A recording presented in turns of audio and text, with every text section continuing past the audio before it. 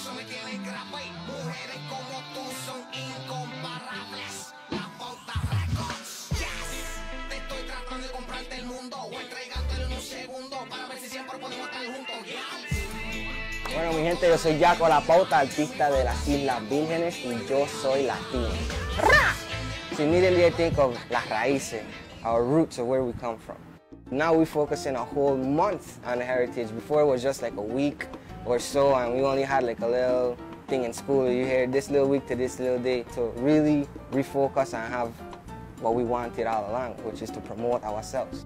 The first thing I remember for sure is without a doubt, we always talk Spanish in the house.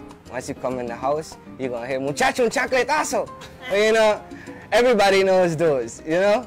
And with my parents, and I know a lot of other Latin parents, the focus was the faith and having God. They showed me how to read and write from the Bible through Bible studies, going to church and stuff. So that has to do a lot with, uh, with Hispanic for sure here.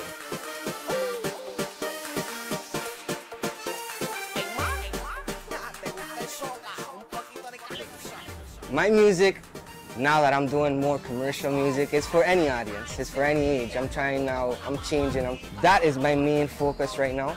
That's what I'm doing, focusing on uh, targeting a major audience.